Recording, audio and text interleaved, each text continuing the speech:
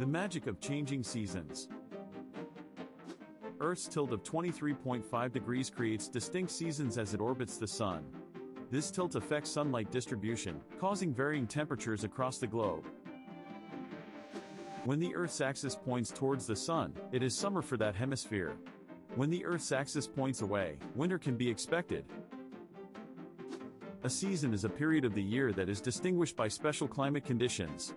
The four seasons, spring, summer, fall, and winter, follow one another regularly.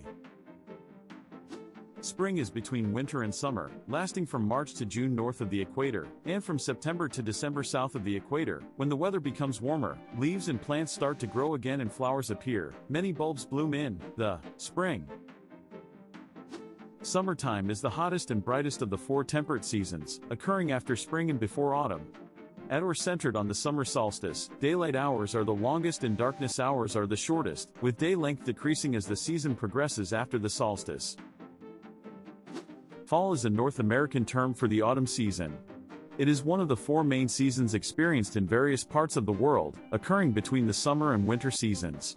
Fall marks the transition from warm summer temperatures to cooler winter weather.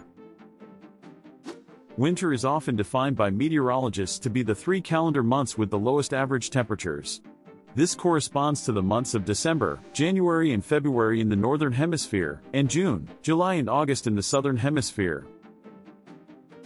Join us on Brainwave Bazaar for more fascinating insights about our planet.